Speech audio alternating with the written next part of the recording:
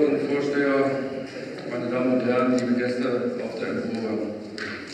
Wir hatten im äh, Finanzausschuss oder beziehungsweise im Sonderausschuss Schule, Bildung und Finanzen vergangene Woche die Frage gestellt, warum die Immobilien GmbH und KKG zwischengeschaltet wird in diesem Konstrukt.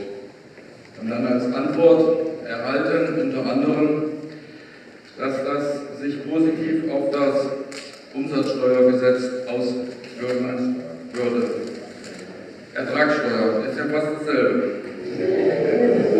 Umsatz, Umsatz und Ertragssteuer. Ich zitiere hier mal den Paragraph 4 Steuersteuerung bei Lieferungen und sonstigen Leistungen. Hören Sie doch mal einfach mal zu.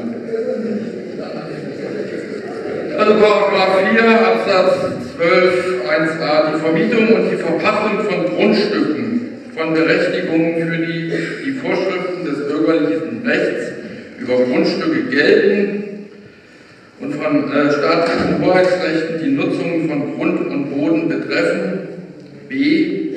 Die Überlassung von Grundstücken und Grundstücksteilen zur Nutzung aufgrund eines auf Übertragung des Eigentums gerichteten Vertrags oder Vorvertrags. C. Die Bestellung, die Übertragung und die Überlassung der Ausübung von dinglichen Nutzungsrechten an Grundstücken. Dem gegenüber steht jetzt im Umsatzsteuergesetz der Paragraph 15 Vorsteuerabzug. Zitiere auch hier Absatz 2.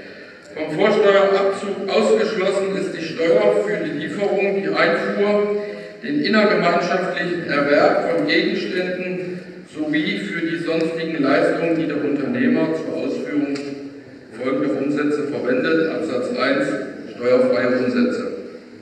Hier stellt sich nun die Frage, was ist jetzt Umsatz oder absetzungsfähig? Sind es die Mieten oder ist es gleichzeitig auch ein Teil der Baukosten? Beides geht schlecht.